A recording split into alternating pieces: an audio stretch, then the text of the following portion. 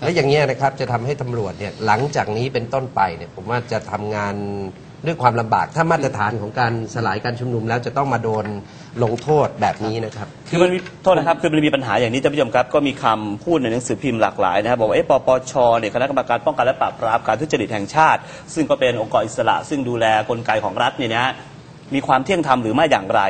เกี่ยวข้องกับคณะมนตรีความมั่นคงแห่งชาติที่มาจากปฏิวัติหรือไม่อย่างไรนะครับแล้วก็การตัดสินดังกล่าวนั้น ได้ครบถ้วนกระบวนความหรือไม่ อันนี้ก็เป็นประเด็นที่สังคมค้างคาใจนะฮะแต่ที่แน่ๆขอประนามคนที่เฟี้ยงระเบิดนะครับ ครับ คือประธานโทษมึงไม่ได้ดูเลยใช่ไหมว่าบ้านเขาไม่ย้ายไม่ไปมีคตั้นงนาอนยู่แล้วนะมันบ้านเก่าไม่มีคนผมผมมองอีกประเด็นเก่าคุณตายจิรายุ นะฮะ เออคือถ้า ผมเป็นคนทำนะ อันนี้แบบพูดพูดสมมุติสมมุติก่อนนะ ถ้าเป็นผม ผมคงจะต้องสืบเป็นอย่างดีอะผมจะไปใช้ลูกระเบิด M67 ซึ่งก็หายากนะคือ แล้วจะต้องไปปาอะไรยังไงสักอย่างเนี่ยผมคงต้องสืบเป็นอย่างดีเนี่ยคุณจิรยุยกเว้น ยกเว้นนะครับ ถ้าผมต้องการสร้างสถานการณ์ ครับ หมายถึงตัวผมเองนี่แหละ ครับ ผมแทนที่จะผมจะคว้างบ้านใหม่ของผมครับคว้างบ้านเก่าดิอ๋อนี่แสดงพวกเดียวกันหรือเปล่าตัวเองพวกที่สั่งให้ผมตั้งข้อสังเกตผมตั้งอย่างนี้ข้อสังเกตคุณอายุเขาบอกว่าสมมุติถ้าผมเป็นคนทำแล้วมองแต่หน้าผมเนี่ยโอ้โหแล้วหน้าอย่างเขาใครไปเชื่อว่าเขาทำแล้วเขามองมองแต่หน้าผมนี่ผมตั้งเดี๋ยวเดี๋ยวข้อสังเกตเออมองแต่หน้าคืผอมใครจะลืมหรือใครจะเฟี้ยงบ้านตัวเอง หรือไม่อย่างไรหรือใครจะเข้าฝันว่าใครไปเฟี้ยงใครก็เรื่องเขานะฮะแต่ว่าที่แน่ๆนักข่าวเมื่อวานเจอคุณกล้านรงค์จันทิกครับคนนี้เนี่ยสื่อมวลชนกล่าวหาว่าคนนี้เนี่ยเป็นร่างทรงของเผด็จการคอมชครับซึ่งจริงเท็จประการใดผมไม่อาจทราบได้ สังคมตอบแทนกันเองนะฮะครับคุณกล้านรงค์จันทิกเมื่อวานนี้ให้สัมภาษณ์อย่างนี้ท่านผู้ชมครับบอกว่าโป รง อะไรจะเกิดมันก็ต้องเกิด ฉันทำหน้าที่จนวินาทีสุดท้ายแล้ว คือมีคนถามบอกเฮ้ยถ้าเกิดมีคนไปเฟี้ยงระเบิดบ้านท่านกล้านรงค์อะท่านกลัวไหมบอกคนที่ไหนไม่กลัววะมันก็กลัว กลัวใช่ แต่ว่าลืมหรือเปล่าว่าระเบิดล่วงจากกระเป๋าใคร เออ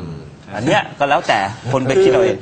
ผมผมครับมีส่วนหนึ่งที่ผมชอบใจมากครับที่พลตรวจตรีอำนวยนิมโนที่ท่านออกมา หน่วยทนได้เนี่ยนะโอ้โหเจ้าของฉายาหน่วยคือทจนริงๆได้แล้วเนี่ยครับ ท่านบอกว่าสมมุติว่าถ้า มีคนไปล้อมปปชอืมเอายางรถยนต์มาวางเอาน้ำมันมาลาดครับแล้วจุดไฟแล้วร้องตะโกนฆ่ามันฆ่ามันฆ่ามันเนี่ยอืม ปปชจะให้ผมทำอย่างไรโอ้โหพลตำรวจตรีอำนวยนุ่มนิ่ถามมถึงโนโคตรมันเลยเนี่ยว่าพวกมันผจะมนี่อยู่ทำงไงใกล้ชิดกับท่าน ฮะวันที่พันธมิตรบุกยึดจนกระทั่งมาถึงสะพานมัขวานนะครัฮะบแล้วก็ปิดตรงนั้นนะฮะครับพลตำรวจตรีอำนวยนิ่มโนเนี่ยตอนนั้นเป็นผู้บัญชาการตำรวจนครบาลหนึ่งครับ ก็ดูแลพื้นที่ทำเนียบรัฐบาลใช่ไหมแบบเห็นใจ พันธมิตรที่แบบ ยิงหนังกระติกบ้างอะไรบ้างอะไรนะแล้วสุดท้ายแกบอกเฮ้ยแล้วตกลงจะให้ตำรวจทำอะไรเนี่ยจะให้ตำรวจเป็นยามหรือเป็นอะไรแน่ปลดอาวุธอาวุธก็ไม่มีสังเกตเวลาตำรวจเนี่ยนะเขาจะถอดเครื่องหมาย ครับคือพูดง่ายคือถ้าเดินตามถนนนึกว่ายามอะเพราะมันไม่มีเครื่องหมายอะไรเลยครับมีแต่กระบอกกับโล่แค่นั้นครับ นะฮะหลังๆก็มีการใช้แก๊สน้ำตา ก็ปรากฏว่าแก๊สน้ำตาใช้ทั่วโลกไม่มีใครเป็นอะไร ครับ ใช้ประเทศไทยมีคนเจ็บคนตาย ครับเออแล้วปมันกมันมันน่าสงสารเป็นอย่างยิ่งอะนะคครัรับบ ในกรณีที่เกิดขึ้นมาแล้วเนี่ยวันนี้ชี้มูลให้เขาผิดมาตรา 157โอ้โหละเว้นการปฏิบัติหน้าที่เนี่ยนะ มันมันมันถือเป็นอะไร ปฏิบัติหรือละเว้นการปฏิบัติแสดงว่าปฏิบัติโดยมิชอบ เพราะว่าอะไรรู้ไหมคือการผิด 157เนี่ยครับโดยอันนี้คือคือกฎหมายนี่สำหรับข้าราชการเนี่ยครับร้ายแรงจะต้องมาก พ่วง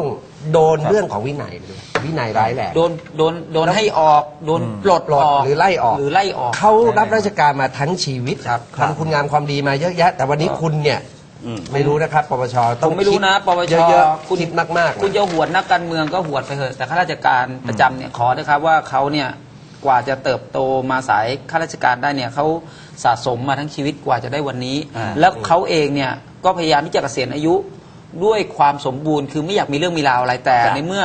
คุณเอาสิ่งเร็วๆ ที่พวกคุณคิดว่ามันเป็นสิ่งที่ถูกต้องสำหรับพวกคุณเนี่ยไปป้ายเขาเนี่ยมันเจ็บปวดครับ ครับ แล้วกรรมนี้ไม่ไปไหนครับจะตกถึงตัวท่าน แต่ผมไม่อยากไปว่าถึงลูกหลานท่านด้วย ไม่อยากให้ ประเด็นที่น่าสนใจแล้วให้ท่านผู้ชมคิดตามต่อนะฮะก็คือว่า สมมุติว่าท่านผู้ชมเป็นตำรวจนะครับมีหน้าที่ในการรักษาความสงบบ้านเมืองเนี่ยนะฮะวันดีคือดีมีคนไปบุกรัฐสภาไปโน่นนี่นั่นเนี่ยท่านจะทำอย่างไรหนึ่งท่านจะยืนอยู่เฉยๆปล่อยให้เขาบุก หรือสองท่านจะใช้อำนาจหน้าที่ที่ต้องรักษาความสงบของประเทศเนี่ยนะฮะดูแลกลุ่มผู้ชุมนุม หรือว่าสลายการชุมนุมก็ว่ากันไปตามกระบวนการครับทำอะไรก็แล้วแต่แต่ละอย่างเนี่ยนะฮะผิดหมดนะในปัจจุบันนี้นะและที่น่าสนใจก็คือปปชชี้มูลความผิด เร่งเร็ว เกินไปหรือไม่ในช่วงนี้ เนื่องจากจะมีการแต่งตั้งโยกย้ายพลตำรวจเอกพัชรวัตรวงษ์สุวรรณ ครับ ก่อนหน้านี้พยายามนะย้ายไปโน่นไปภาคใต้ไปเมืองจีนโน่นนี่นั่นว่ากันไป แต่คราวนี้เนี่ยเหมือนกับว่าเข้าทางหรือเปล่า เข้าทางอภิสิทธิ์ไหมที่จะตั้งพลตำรวจเอกประทีปวงษ์สุวรรณเออประทีปแล้วเออแล้โทวษประทีปตันประเสริฐโทษโทษทีอ่า เนี่ยครับก็ก็ก็เป็นครับข้อสังเกตอีกอันหนึ่งเลยว่าเออมันเป็นเรื่องการเมืองหรือไม่อย่างไรนั่นน่ะสิ ครับนะครับแล้ววันนี้เนี่ยปปชเป็นองค์กรอิสระ ซึ่งปราศจากการเมืองใช่หรือไม่อย่างไร ครับ น่าน่าน่าน่าสังเกตเป็นอย่างคุณยิ่จิงรยุครับ ได้ได้ข่าวไหมครับมีอีกกรณีหนึ่งที่เกี่ยวกับสื่อของของพันธมิตรเนี่ยที่กล่าวโจมตีสื่ออื่นๆเนี่ยโอ้ไปเร็วเลยได้ข่าวไหมไปเรื่องนั้นแล้วใช่ไหมใช่ใช่ใช่เพราะว่าเราเราดูแล้วเวลาเราเนี่ยมันจะไม่พอเรื่องเรามันเยอะเหลือเกิน โอเคโอเคฮะ ผมก็งงกำลังได้อารมณ์กับเรื่องตำรวจ ไม่เอาผมสงสารสงสารพันธมิตร ป่าผมจะพูด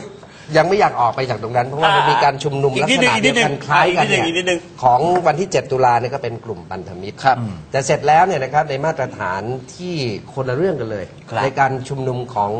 คนเสื้อแดง 13 เมษาตอนช่วงสงกรานต์กันแล้วกันครับผมผมเห็นคุณหานเนี่ยเล่าให้ฟังหน่อยดิบรรยากาศเป็นยังไง ผมเห็นคุณหานเดินอยู่ในการชุมนุมด้วย อยู่ครับอยู่ก็อยู่เดินตามหลังผม มีมีมีอาวุธไหมครับอยู่หน้าทำเนียบอยู่นั่นโอ้โหเยอะแยะไปหมด ผมไม่กล้าเดินไปไกลเลยครับโนโนโนไม่ใช่ พูดถึงวันสงกรานต์ สงกรานต์ที่อ๋อไม่คนมีเสื้อแดไม่ง มีครับเพราะว่าอืผมเนี่ยอยู่บนเวทีเนี่ยนะครับแล้วก็มีผู้ใหญ่อยู่หลายท่าน คุณเก่งก็อยู่ใครก็อยู่เอ้ยอย่างผมนั้นไม่ใช่ผู้ใหญ่ผมเดิแล้นวเราอ๋อเดนเดนพี่ชายพี่ชายแล้วเราก็เดินเราเดินผมจะเป็นคนที่ชอบเดินทุกวันจะเดินรอบทำเนียบเลยนะครับเดินไปดูทั้งตรงสะพานยิ้มแย้มแจ่มใสไหมยิ้แย้สนุบรกรสยากาศ นานโอ้ยเป็นกันเองครับเหมือนเป็นญาติเลยนะเดินเข้ามาเห็นมาหอมก้งหอมแก้มอะไรอย่างงี้แต่ก่อนเกิดอย่างนั้นเลยอ่าฮะ นะครับเพราะฉะนั้นเป็นอะไรที่ภาพที่ เหมือนครอบครัวปืนมีไหมปืน ไม่ไม่มีระเบิดมีมีมีเด็กน้องปืนเยอะแยะชื่อเด็กเด็กชื่อปืนเยอะแยะไปหมดนะปืนปืนปัญญาอ่อนไม่มีหรอกครับมี เออ ของที่เขาขายกันก็เป็นของที่ครับ อาหารการกินที่เป็นส่วนใหญ่นะฮะแล้วของคนเสื้อแดงนี่เขานำมาจำหน่ายกันพวกแล้วแล้วอะไรก็แล้วคุณหานว่าในการชุมนุมช่วงสงกรานต์นั้นใช้คำว่าอ่าการชุมนุมโดยสงบสันติอหิงสาของคนเสื้อแดงได้ไหม โอ้โสสงบที่สุดแล้วครับ เพราะอย่างที่พี่ป๊อปบอกว่าอ่าตอนที่เกิดเรื่องขึ้นมาอยู่ในสภาเนี่ยมีการยิงเข้ามาในสภงสภาโอ้โหผมดูอยู่อืมผมดูอยู่ในโทรทัศน์เนี่ยผมยังรู้สึกว่าโอ้โหแม่ถ้าคผนมละเป็นเรื่อง ในระดับที่เป็นมีตำแหน่งที่เป็นสสเนี่ยเออ แล้วมีนายกรัฐมนตรีที่มาจากการเลือกตั้งเนี่ยแท้จริงอยู่ในสภาเนี่ยตำรวจตำรวจที่มีหน้าที่รักษาความปลอดภัยก็ต้องทำหน้าที่ให้ดีที่สุดเพื่อรักษาชีวิตของนายกรัฐมนตรีและสสไว้ถูกไหมฮะ เพราะฉะนั้นต่างกันโดยสิ้นเชิงครับเปรียบขทียอบงเสื้อแดงนี่คนละเรื่องคเปรีรัยบ บเทียบง่ายๆ คือตอนสลายการชุมนุมของวันที่เจ็ดที่ผ่านมาที่7ตุลาใช่ไหมครับห้าหนึ่งก็คือของเขาเนี่ยตำรวจเข้าไปตามหลังค้นได้อาวุธ ยุทโธปกรณ์ไม่ว่าไปจะระเบิดไม้กอล์ฟไม้เบสบอลต่าง ๆ เหล็กแหลมอะไรเยอะแยะมากมาย แต่ ถึงกับนะครับอ่าเมื่อวันที่ 13 เมษายนเนี่ยที่มีการสลายการชุมนุมของคนเสื้อแดงเนี่ยปกติแล้วเนี่ยสื่อเขาจะใส่ทุกอย่างเลยว่าเรามีนู่นมีนี่ปรากฏว่าเราไม่มีอะไรที่เป็นสิ่งที่เป็นอาวุธได้เลยมันแแต่ทำให้ดเดีผยวมอดคิดไม่ได้ เมื่อคืนผมฝันครับเรื่องคลิปเสียงนายกรัฐมนตรีอะอืมครับเฮ้ยไอ้คนเข้าฝันผมเนี่ยก็ช่างฝันนะบอกว่าเฮ้ยเสียงนั้นเนี่ยมันน่ากลัวนะครับเพราะว่าจะตัดต่อหรือไม่อย่างไรก็แล้วแต่แต่ว่าประโยคยาวๆเวลาพูดเนี่ยถ้าพูดจากทัศนคติของผู้นำประเทศเนี่ย ถ้าภาษาชาวบ้านเขาเรียกว่าเรือหายเนี่ยนะอืมชิปหายไงอืมอันตรายเรือใบหางสามฝรั่งนะชิปภาษาฝรั่งเรือเรือนะครับอ๋ออืมเรือจริงๆเพราะว่าอันนี้แหละคือประเด็นที่น่าสนใจ มันไม่ต้องไปอธิบายอะไรมากมายว่าคนเราจะชุมนุมแบบไหนยังไงครับแค่ 7 ตุลาใช้ทหารมีโล่และกระบอกและแก๊สน้ำตา แต่ว่า 13 เมษามีอาวุธ M16 บางละปืนสั้นอะไรสักกระเบือเรือรบเยอะแยะเต็มไปหมดเนี่ยนะฮะ มันชัดเจน แล้วผมพยายามเชื่อมโยงให้ให้